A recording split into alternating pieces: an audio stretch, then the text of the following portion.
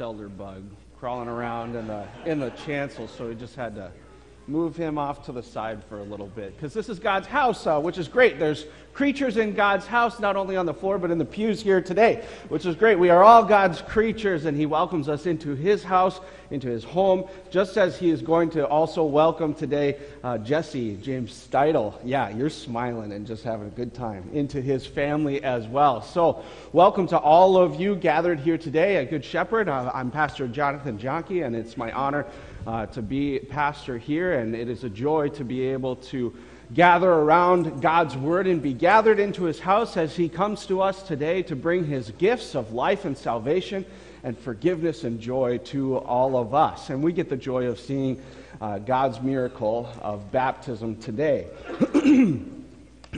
um, this morning, uh, we will be uh, focusing on our Old Testament readings. So, uh, as we come to that in the service, pay special attention to that as uh, God speaks to us through His Word today. Other than that, uh, may God bless all of us today as we join together in singing our opening hymn, uh, Father Welcomes.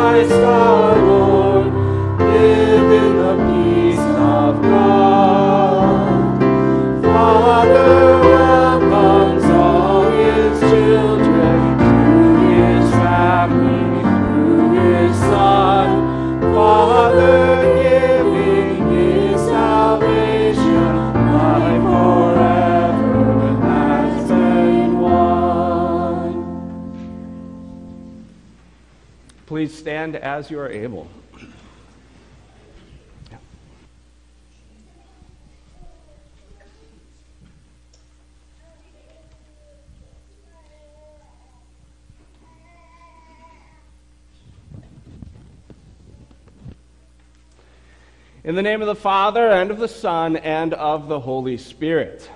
Amen. We continue with the sacrament of holy baptism found on page 268 in your hymnals. Dearly beloved, Christ our Lord says in the last chapter of Matthew, Matthew chapter 28, All authority in heaven and on earth has been given to me. Therefore, go and make disciples of all nations, baptizing them in the name of the Father, and of the Son, and of the Holy Spirit.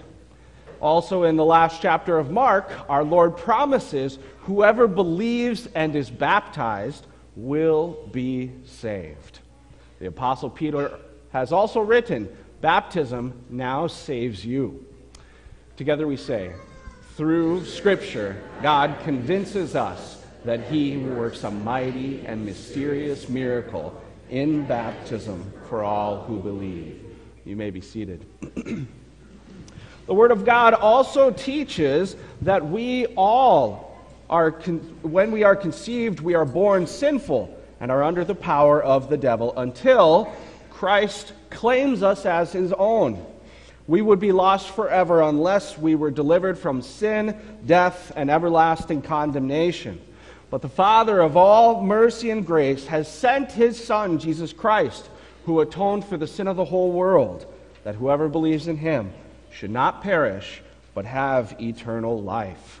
So, to you, Jake and Cassie, I ask you, how is your son to be named? Jesse James Steidel.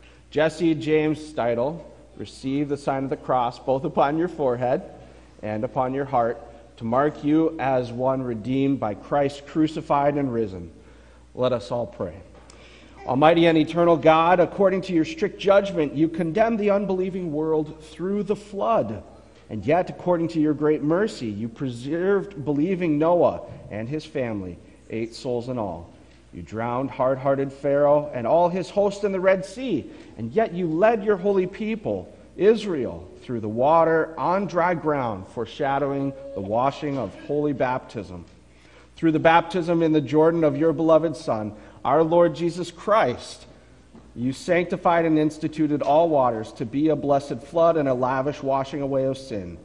So we pray that you would behold Jesse according to your boundless mercy and bless him with true faith, so that by the Holy Spirit, through this saving flood, all sin in him, which has been inherited from Adam, which he himself has committed since, would be drowned and die. Grant that he be kept safe and secure in the holy ark of the Christian church, that he be separated from the multitude of unbelievers, and serving your name at all times with a fervent spirit and a joyful hope, so that with all believers in your promise, Jesse would be declared worthy of eternal life through Jesus Christ our Lord. From ancient times, the church has observed the custom of appointing sponsors for baptismal candidates and catechumens, that is, those who are taught the faith. In the Evangelical Lutheran Church, sponsors are to confess the faith that is expressed in the Apostles' Creed and taught in the Small Catechism.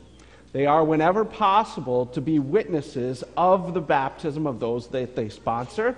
They are to pray for them, support them in their ongoing instruction in the Christian faith, and to encourage them towards a faithful reception of the Lord's Supper. They are at all times to be examples to those, their sponsor of the holy life of faith in Christ and love for the neighbor. so I ask you both is it your intention to serve Jesse as sponsors of the Christian faith? If so, say yes with the help of God. Then I pray that God would enable you and each of you to will and to do this faithful and loving work which we are unable to do without his grace, that he would fulfill it. Hear the Holy Gospel according to St. Mark. They brought young children to Jesus that he might touch them and lay his hands on them. But his disciples rebuked those who brought them. But when Jesus saw it, he was greatly displeased and said to them, Let the little children come to me, and do not forbid them, for such is the kingdom of God.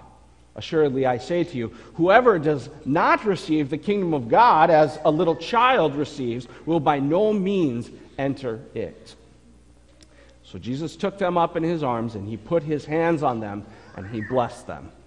Please stand as you are able and let us pray the prayer that our Lord has taught us. Our Father, who art in heaven, hallowed be thy name. Thy kingdom come, thy will be done on earth as it is in heaven. Give us this day our daily bread, and forgive us our trespasses, as we forgive those who trespass against us. And lead us not into temptation, but deliver us from evil. For thine is the kingdom, and the power, and the glory, forever and ever. Amen. You may be seated. Because Jesse cannot answer for himself, I invite the parents, sponsors, and the witnesses to speak faithfully on his behalf in testimony of the forgiveness of sins and new life that he now receives. So I ask you, do you renounce the devil and all his works and all his ways? Do you believe in God the Father Almighty, maker of heaven and earth? Do you believe in Jesus Christ, his only Son, our Lord, who was conceived by the Holy Spirit, born of the Virgin Mary, was suffered under, suffered under Pontius Pilate, was crucified, died, and was buried? He descended into hell, and the third day he rose again from the dead. He ascended into heaven and sits at the right hand of God the Father Almighty. From thence he will come to judge the living and the dead. Yes, I believe. Do you believe in the Holy Spirit, the Holy Christian Church, the communion of saints, the forgiveness of sins, the resurrection of the body, and the life everlasting? Then let us uh, welcome all the kids forward. Children, if you want to come forward at this time, we can make a couple rows and sit up here. We're going to watch our brother in Christ get baptized. Thank you. Come here, buddy. Hi. You are so light. It is so great. come on up here. You can come closer, Everly, if you want. We've got lots of space. You guys can sit right around here.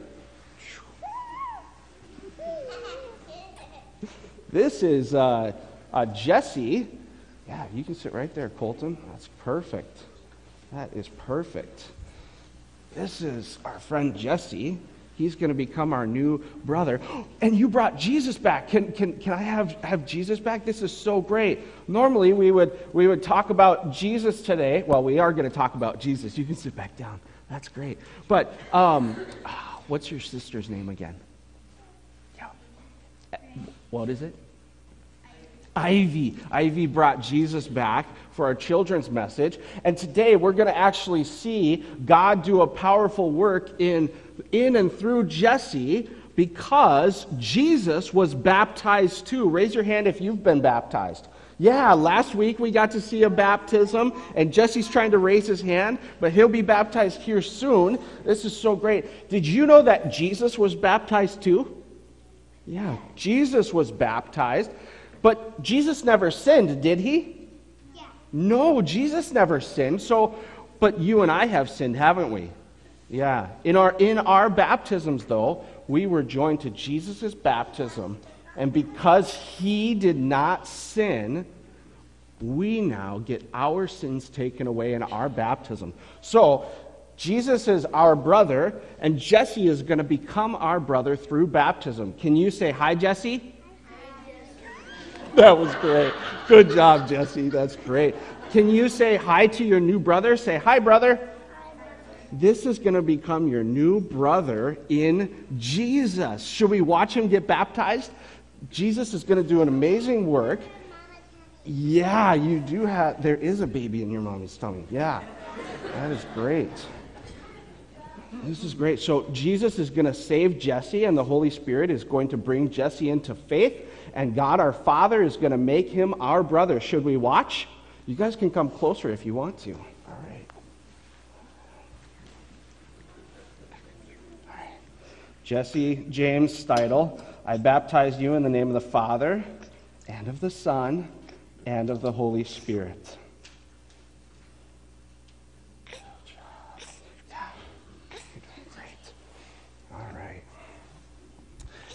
The Almighty God and Father of our Lord Jesus Christ, who has given you new birth of water and of the Spirit and has forgiven you of all your sins, strengthen you with his grace to life everlasting. Uh, boys and girls, we're going to give uh, his parents some, some things. There's a gift over there for you as well. We're going to give him this white garment to them. It's a little wet. to show that Jesse, see what color he is wearing? What color is he wearing? White, to show that all his sins have been removed from him in Jesus, and they will always be removed in Jesus. And I'll take that candle now.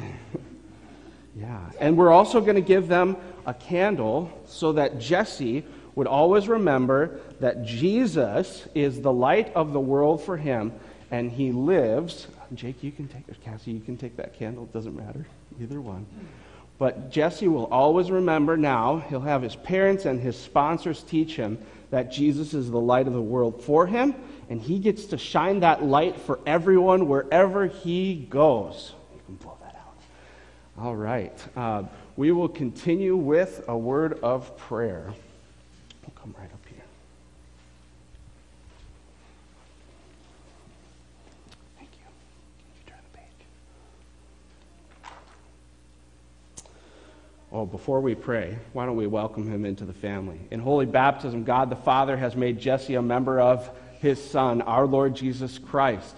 And Jesse is an heir with all of us in the treasures of heaven, in the holy Christian, in the one holy Christian and apostolic church.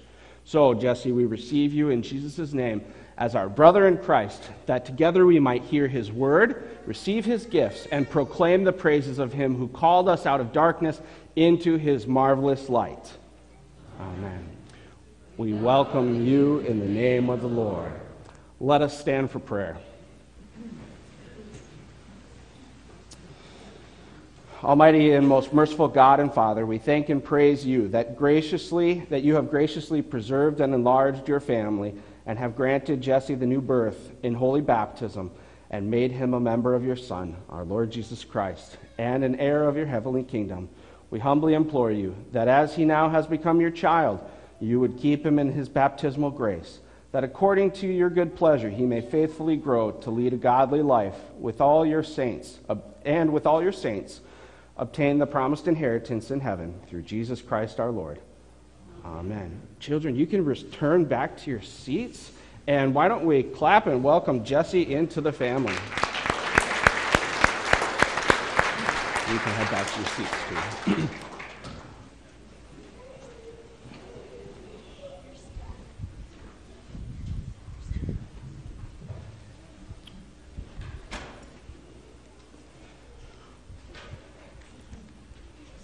Since all of Jesse's sin has been drowned and died, let us also stand together now and let us lay down our own sins at the feet of Jesus.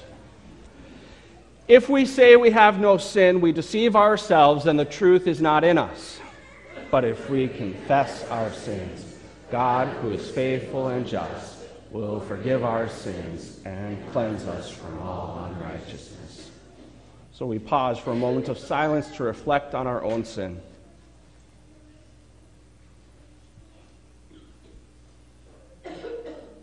O Almighty God, merciful Father, I, a poor, miserable sinner, confess unto you all my sins and iniquities with which I have ever offended you, and justly deserve your present and eternal punishment. But I am heartily sorry for them, and sincerely repent of them. And I pray you of your boundless mercy, and for the sake of the holy, innocent, bitter sufferings and death of your beloved Son, Jesus Christ, to be gracious and merciful to me, a poor sinful being. Almighty God, in his mercy, has given his Son, Jesus Christ, to die for you and rise for you. As a called and ordained servant of Christ, and by his authority, I therefore forgive you all your sins in the name of the Father, and of the Son, and of the Holy Spirit. Amen. Lord, have mercy on us. Christ, have mercy on us. Christ, have mercy on us. Lord, have mercy on us.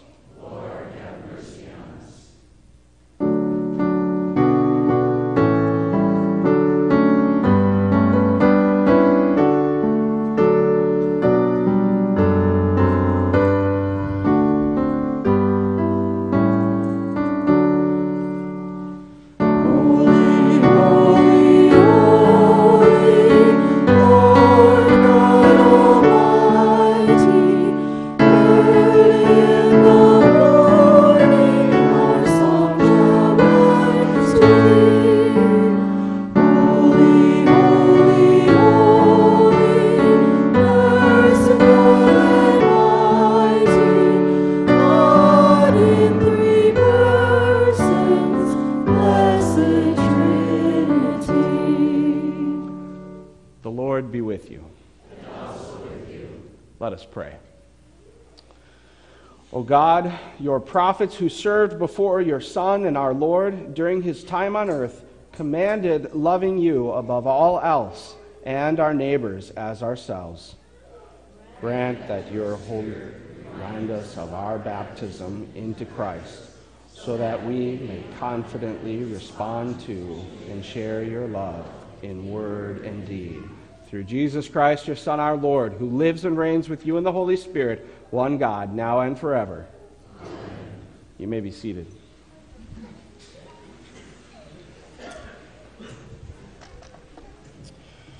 Our Old Testament reading for today comes from Leviticus chapter 19, verses 1 through 2, and verses 15 through 18.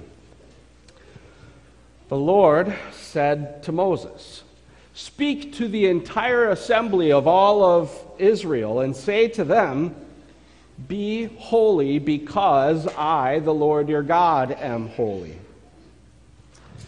Do not pervert justice. Do not show partiality to the poor or favoritism to the great but judge your neighbor fairly. Do not go about spreading slander among your people. And do not do anything that endangers your neighbor's life. I am the Lord. Do not hate your brother in your heart. Rebuke your neighbor frankly, so you will not share in his guilt. Do not seek revenge or bear a grudge against any against one of your people, but love your neighbor as yourself. I am the Lord. This is the word of the Lord. Thanks be to God.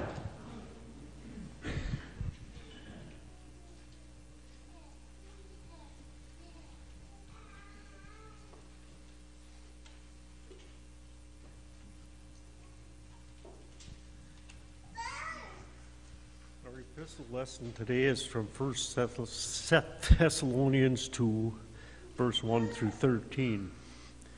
Found on 11, page 1169 through 1170 in your Pew Bible. You know, brothers, that our visit to you was not a failure. We had previously suffered and been insulted in Philippi, as you know. But with the help of God, we dared to tell you his gospel in spite of strong opposition. For the appeal we make does not spring from error or impure motives, nor are we trying to trick you. On the contrary, we speak as men approved by God to be entrusted with the gospel. We're not trying to please men, but God who tests our hearts. You know, we never use flattery nor did we put a mask on to cover up greed, for God is our witness. We're not looking for praise from men, not from you or anyone else. As apostles of Christ, we could have been a burden to you, but we were gentle among you, like a mother caring for her little children. We loved you so much that we were delighted to share with, with you not only the gospel of God, but our lives as well because you had become so dear to us. Surely remember, brothers, our toil and hardship. We work day and night in order not to be a burden to anyone while we preach the gospel to you. You are witness, and so is God, of how holy, righteous, and blameless we were among you who believed. For you know that we dwelt with, dealt with each of you as a father deals with his own children, encouraging comforting and urging you to live lives worthy of God who calls you into his kingdom and glory. And we also thank God continually because you received the word of God, which you heard from us. You accepted it, not as the word of men, but as it actually is the word of God, which is at work in you who believe. This is the word of the Lord. Thanks be to God. Please stand as you are able out of reverence for the life and ministry of Jesus Christ. We sing together.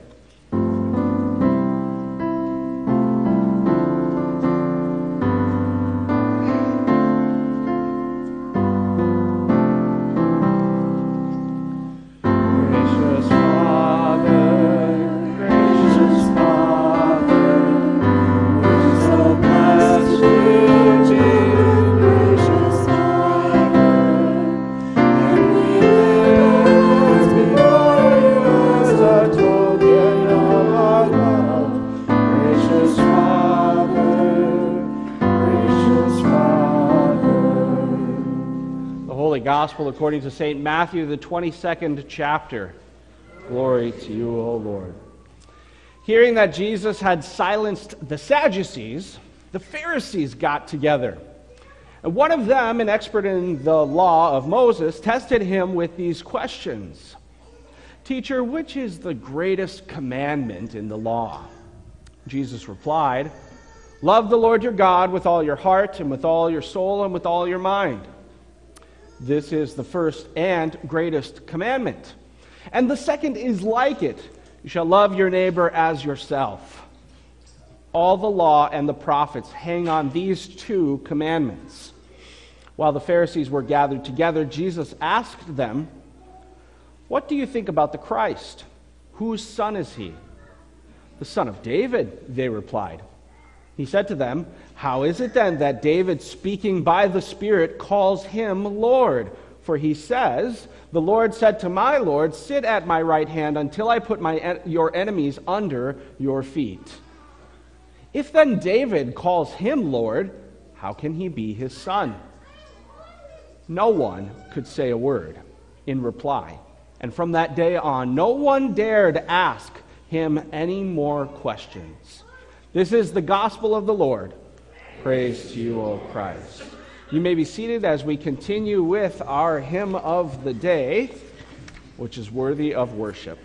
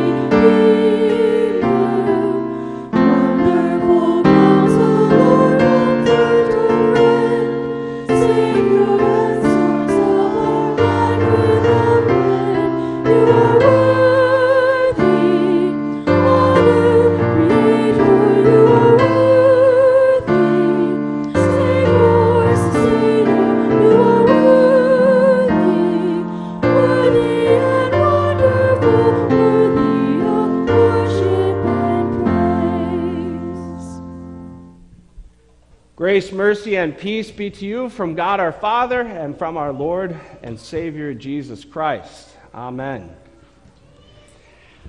Henry Gerecke served as the Protestant chaplain for 15 of 21 men that were on trial, set to be sentenced. He served them from 1945 to 1946 as their chaplain for war crimes that they had committed during World War II. You may recognize this trial as the Nuremberg trials. Pastor Henry Gerecke ministered to one man named Henry Goering. Goering was and is infamous for the evil planning of the genocide of the Jews, which is known as the final solution. And yet, Henry Gerecke ministered to him. Goering never came to re- repent of his sins despite over a year of ministry by Pastor Henry. But you can go on uh, YouTube and find the radio call after the Nuremberg trials where Gerecke is recounting his experience and his ministry to those 15 men. And you can listen to Gerecke tell of all these different stories. And in a way, it humanizes those people. Doesn't make their actions any more human than we like to admit, but they begin to sound like real people that committed real atrocities to other real people.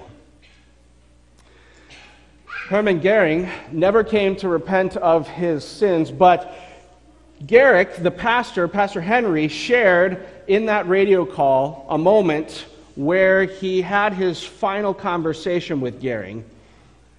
And Pastor Henry listened as Goering described his last interaction before he was led to the gallows when he talked with his wife.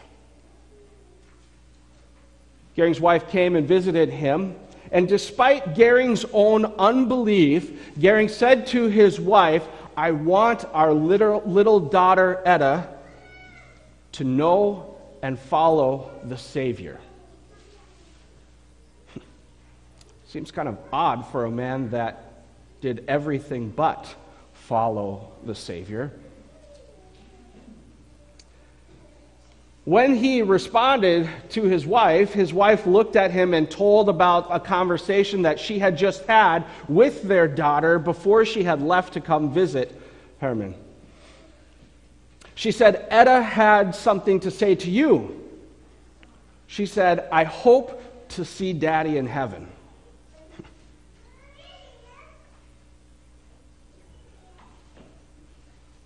It's safe to say we would not call Hermann Goering a holy man.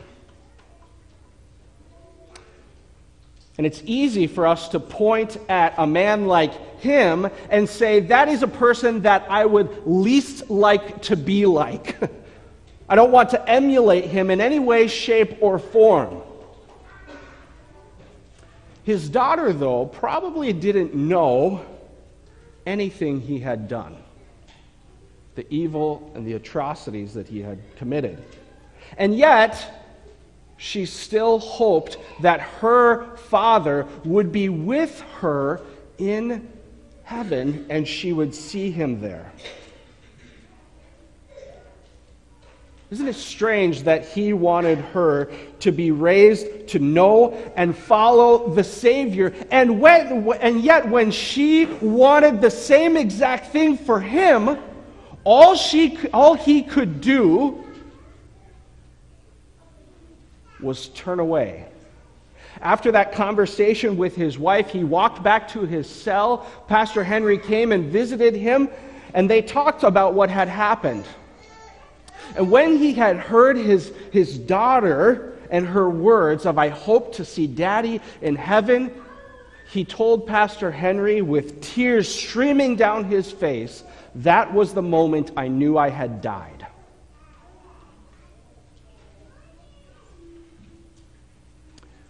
It took holy words from a child to get through to an unholy man who had done evil and unholy, unthinkable things to millions of people.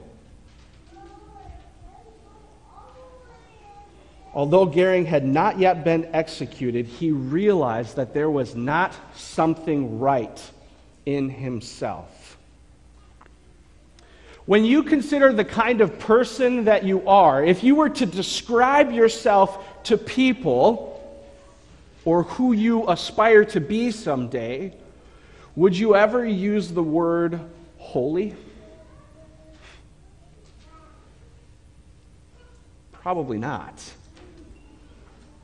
Even despite us being completely unlike Hermann Goering, we would probably never refer to ourselves as holy.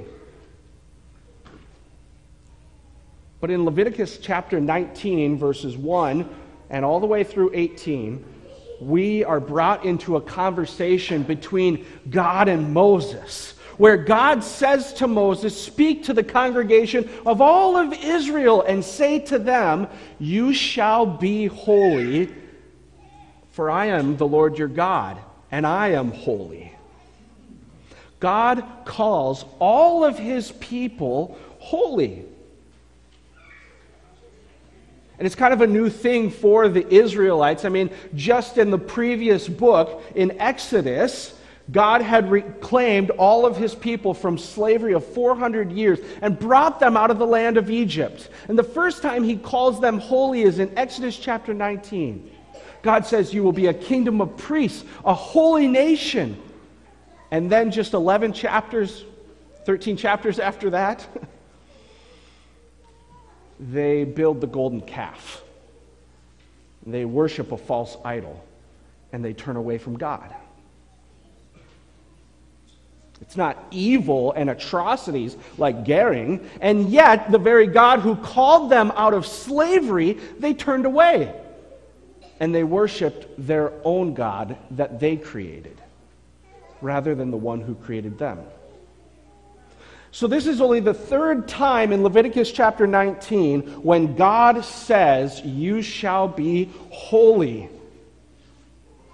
And for the rest of the entire book, for all the book of Leviticus, God lays out what holiness is and how it should be in the lives of his people. God defines holiness. In his definition, God gives two parts to holiness. First, holiness in simple terms, if you were to think of it, it simply means being different. Set apart differently from the things that look normal so you can live differently. Just like God is different. That's the first part of God's definition. It's, it's kind of like, you know, that, that fine bottle of wine that you have sitting in your cabinet that you want to use for a special occasion. Right? And then when family and friends come over and there's a celebration, like maybe a, a baptism, later in the evening you pop open that bottle and you think of all the wonderful things that you have experienced in waiting up for that moment. And then when you look back on that moment, you remember that, oh, yeah, it was just a bottle of wine, but there was something different about it because it had been set aside for a special day, for a special purpose. Although it was different, it ended up being used for a special thing. The second part of God's definition of holiness comes and flows from the first.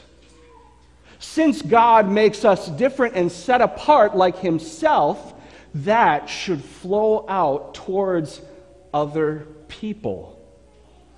Holiness should affect the lives of those around us. God says so much in verses 1 and verse 18. He says, I am the Lord your God. You shouldn't have any other gods and you should be holy like me. And then in verse 18, he says, You shall love your neighbor as yourself. Jesus summarizes that in Matthew chapter 22 when he says, These are the two greatest commandments love the Lord your God with all your heart, with all your mind, heart and then mind, and with all your soul. And the second is like it. You should love your neighbor as yourself. But I can see some of you right now, and um, knowing what holiness is doesn't tell us why it's important. You can know the definition of holiness inside, outside, backwards, and upwards and forwards, and you can describe it in all different kinds of ways. You know the kinds of experiences that happen when holiness comes into your life and you experience it for yourself. For me, I often think about special times like Christmas. Yes, the snow is coming. we didn't get it this weekend, but it is coming especially when we celebrate Christmas together as God's family. It's a holy time, it's different than the hustle and bustle that we often experience during the year. But just knowing holiness doesn't always transform our behavior. When you think about if you would call yourself holy,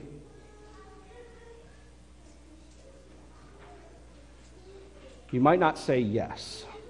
I would say that about myself. Hermann Goering knew that there was something unholy about himself, and he died when his daughter hoped that he would be in heaven with her. It wasn't before his earthly life was taken, it was when he realized he was spiritually dead before the Lord. Now, you might not consider yourself on the same level as Hermann Goering, but would you call yourself holy? Consider God's standard of holiness. In the beginning of the service, we said if we say we have no sin, we deceive ourselves, and the truth is not in us. So before we, lest we deceive ourselves, think about God's measure of holiness. Have we loved and cared for that coworker who gets on our nerves? What about our son or our daughter? Have we loved them as we love ourselves? Have you loved God? And trusted in Him above all things, above the money issues that you might be facing, above the, the distresses of what's going on in your child's life and you don't know about it? Have you trusted in those things? Have you hoped in your own plans for your life above God's forgiveness and salvation? We may not call ourselves holy because inherently we know what Goering knew as well. We have sinned and fallen short of the glory or the holiness of God. But lest you walk out of here deceiving yourselves again, remember what we said next we spoke God's word to ourselves and it was spoken over us. We went on to say, But if we confess our sins, he who is faithful and just will forgive our sins and cleanse us from all unrighteousness. And when God cleanses people from unrighteousness, he makes them holy, he makes them right before himself. In that moment, God spoke to all of us just like he spoke to the Israelites through Moses and he said, You are holy. When we confess our sins to our Heavenly Father, Jesus Christ, His Son, stands in our place and He says to our Heavenly Father, I want them to be with me in heaven. And God says, but they aren't holy. And Jesus says, but I am for them. And because I am in them, so are they. And instead of making us walk out of here in shame, sadness, or guilt, instead of making us walk to our own gallows, God takes us and he makes us holy through Jesus. God did that for Jesse. When Jesse was brought over here by his parents, who were baptized too, Jake and Cassie, who were baptized, and they brought their son up here, and God spoke over him in the name of the Father, and of the Son, and of the Holy Spirit. And his name, although it is Jesse James Steidel, now forever will be God's holy child, his son, just like Jesus, who is his son. This child is holy even though he can have some unholy screams sometimes.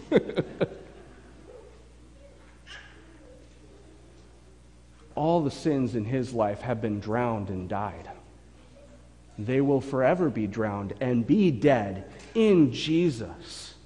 No matter what sins he will commit from here on out, he will always be able to know that he is holy because we have been called holy, and now we can say to him, You are holy even when you feel unholy, even when you know you're unholy.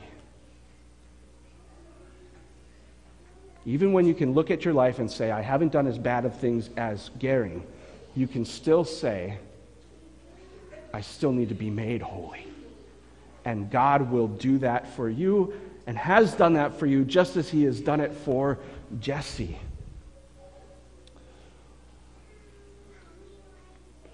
Jesse is now different. He's holy. He is set apart, just like we are. And that feels good. It feels great to know that God has declared all of us to be different. And yet, knowing that does not always change our behavior, but here is what does God makes us holy not so that we would sit and condemn or even ignore an unholy world and unholy people. Holy people are not to sit back and do nothing. Holy people are set apart for a different special use. They are set apart to love God and to love our neighbors. God has set us apart to serve the holy and the unholy. Holiness is given to us by God and from God so that by our life that we have in Jesus, we would serve others with holy acts of love and mercy. Think of Pastor Henry. For a year, to no avail, it seemed like he was not breaking through Hermann Goering and his hard steel exterior through his evil acts. And yet, Pastor Henry did not stop bringing him God's word. And when Edda finally gave holy words to her unholy father, all that work that had been done before by Pastor Henry finally came to fruition. Holy people may not always see the good works and the good fruit that come forth, but you might be preparing it for someone else. That's what it took for Goering to realize his own sin here at church, you are declared to be holy, but it does not remain here within these doors. You can look back and see that the doors are wide open, that holiness is ready to depart from this place and go out into the world. After having a week of being worn down by the world, tired out, and exhausted, here you have been refreshed by the holiness of God.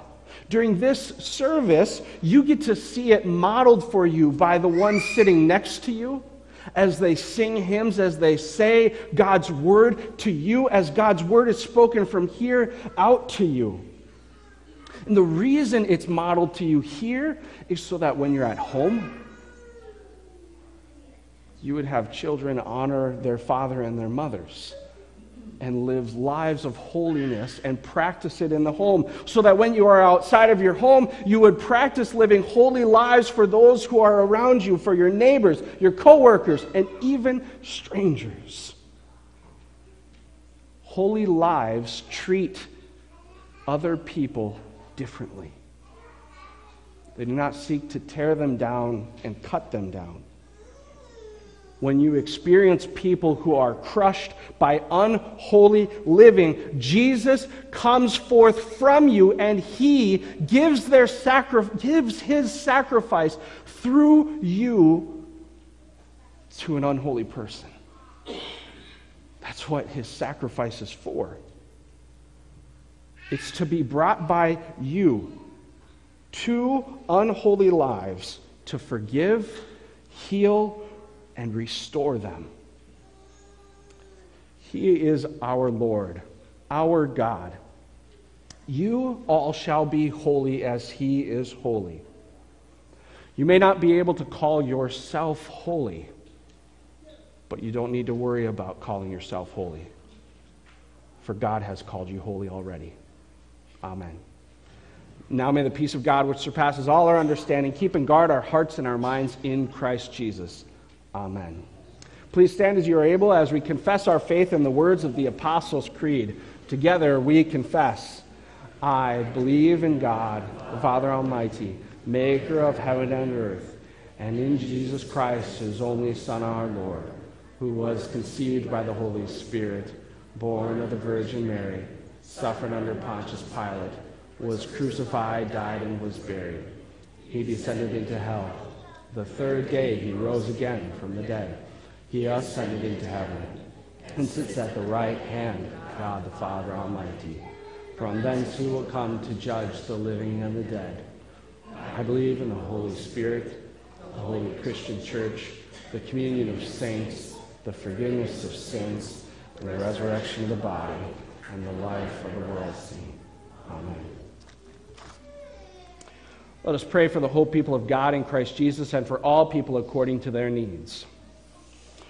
For this congregation, its mission, and its people, for the ability to meet the needs that arise as we do the work God has given us to do, for the unity of the Spirit and the bond of peace, let us pray to the Lord.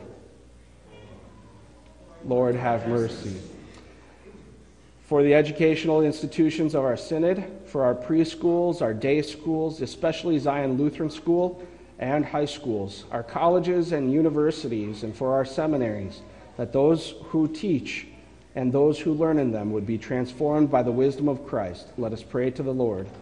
Lord for those who have wandered from the faith, that the Holy Spirit would use us to call them to holy lives in the home of our Holy Father. Let us pray to the Lord. For the government and all who have been set in positions of leadership, that they may use the authority entrusted to them to honorably to, to them honorably and for the good of the people. Let us pray to the Lord. For all who serve in worthy occupations, professions, arts, sciences, and sciences, that God would grant them skill and integrity in the performance of their responsibilities and valued service through their vocations. Let us pray to the Lord. For those who suffer from hunger, homelessness, poverty, or unemployment, that God's great mercy and love would preserve and relieve them. Let us pray to the Lord. For those who are sick, for Gaylord Knack, Evie Schreiber, Laura Schinnebarger, Carol Chorley, Paul Wilkin, Patty Stennis, Don Wilkie, Mike McDaniel, John D., Mike Newind, Ron Rogers, Naomi During, Paul During, Michelle Wren, Spencer Thorsland, Mark Peterson, Evelyn Bulkey, Addie Mork, Bob Taylor, Luca Hausman, Judy Shorter, Leon Wunderlich, and Wayne Haben, that God would grant healing to their bodies and strength to bear their infirmities with patience and grace. Let us pray to the Lord. Lord O Lord, Heavenly Father, we gratefully remember the sufferings and death of your dear Son, Jesus Christ, for our salvation. Rejoicing in his victorious resurrection from the dead, we draw strength from his ascension before you, where he ever stands for us as our own high priest. Gather us together from the ends of the earth to celebrate with all the faithful the marriage feast of the Lamb and his kingdom, which has no end. Graciously receive our prayers and deliver and preserve us. For to you alone, we give all glory, honor, and worship, Father, Son, and Holy Spirit, one God, now and forever. Amen. You may be seated, and at this time we collect our tithes and our offerings.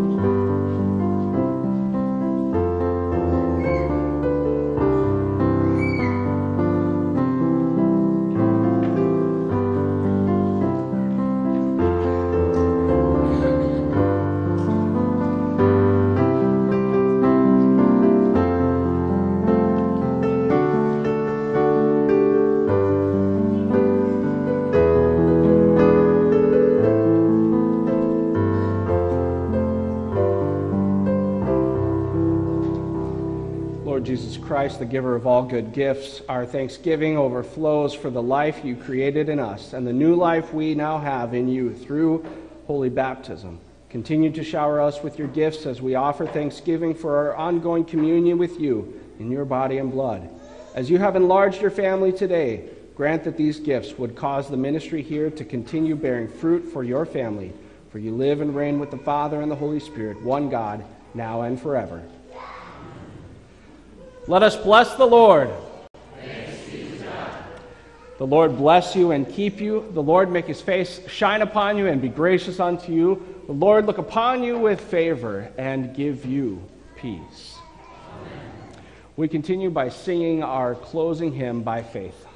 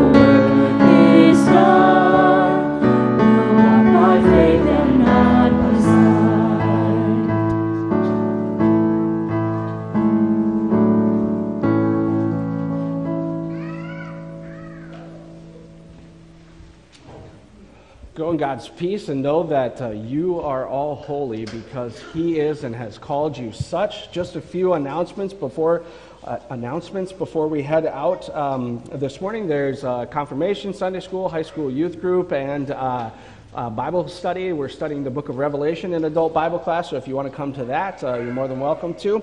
Also, this afternoon, there's Trunk and Treat, which will be uh, cold but great and lots of fun. So, why don't we uh, come and have a good time with that? There's lots of people here and in the community that are very excited for it, so that is great.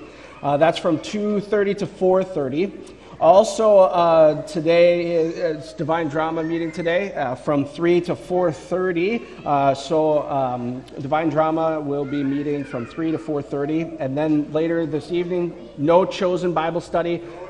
No, uh, we're all, no, no chosen tonight. Um, no chosen Bible study tonight. But at 7 p.m. Uh, tonight is the Alexandria Circuit. So the area wide uh, churches are having our Reformation ser- worship service here tonight at 7 p.m.